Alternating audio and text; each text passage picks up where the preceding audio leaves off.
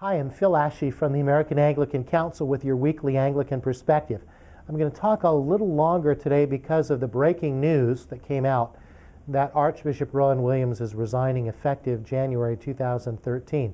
He's going to Magdalene College uh, of Cambridge University to be a master professor.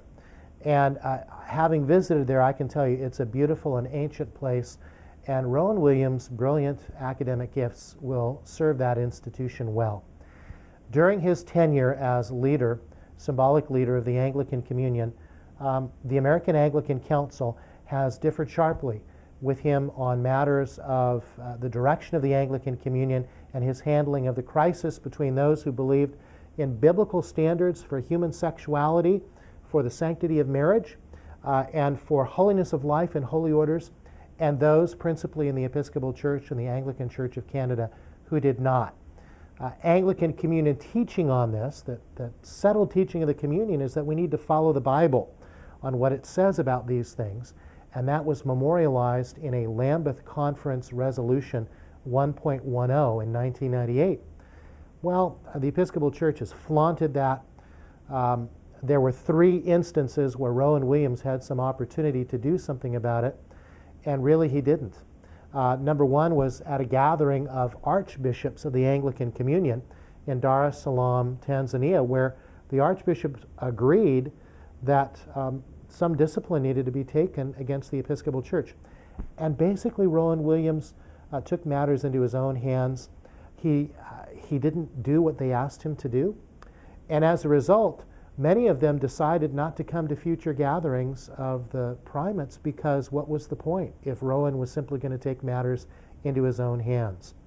Secondly, at a gathering of Anglican leaders in Kingston, Jamaica, uh, bishops, clergy, and lay leaders, uh, Rowan Williams intervened in the debate about the Anglican covenant, which was designed to hold us all together around some kind of a confession of faith and discipline.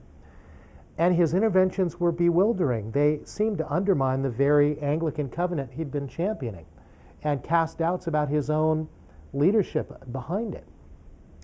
Thirdly, in response to uh, this crisis, instead of giving more power to the archbishops and existing instruments, he centralized power in himself and in something he called the Standing Committee of the Anglican Communion and the Anglican Communion Office. And that cast great doubt on the legitimacy uh, and respectability of the other instruments. So, where do we go from here? I know a lot of you are wondering well, who's the next Archbishop of Canterbury going to be? And will there be any difference? And I guess I'd really want to say to you that doesn't really matter because, as uh, good Bible believing, Christ centered, um, evangelistic, Great Commission Anglicans, decided in gathering in Jerusalem in 2008 for the Global Anglican Futures Conference, uh, it doesn't really have to do with an archbishopric, with a See of Canterbury. We're grateful, we always will be, for the fact that archbishops of Canterbury blessed and sent out English missionaries to evangelize the rest of the world, and there will always be some affection for Canterbury for that. But as these Christians wrote in the statement in the preface to the Jerusalem Declaration, and I quote, while acknowledging the nature of Canterbury as an historic see, we do not accept that Anglican identity is determined necessarily through recognition by the Archbishop of Canterbury.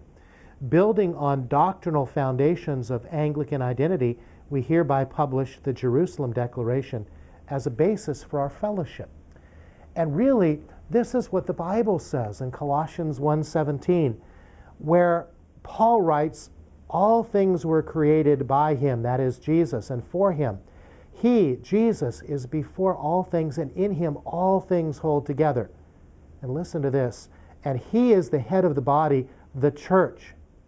That's the basis on which Anglican uh, reformers, Cranmer, Latimer, and Ridley, literally died at the stake for believing in the authority of Scripture, in the life of the believer, in the life of the church. Uh, memorialized in things like the 39 Articles, the original councils of the church where bishops came together and talked about matters of faith and discipline together, uh, and, and in the creeds that we have. Um, I think of Bishop John Jewel, that great apologist for Anglicanism, who wrote that uh, we need to return to that kind of conciliar form of government. But you know what? It's all based on Christ, the supremacy of Christ. Uh, in the life of the believer, in the life of the church, the supremacy of Christ as he's revealed in Scripture, uh, and the supremacy of Scripture in our lives as we seek, both as followers of Jesus and as Anglican followers of the way, to live our lives individually and as a church as Jesus would.